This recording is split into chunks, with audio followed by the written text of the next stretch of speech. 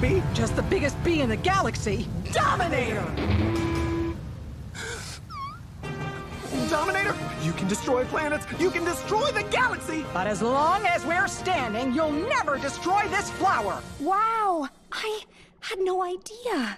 What hokey saps you were! Blah, blah, blah. As long as I'm standing. I can't believe you actually said that out loud. For that, I'm taking you all down.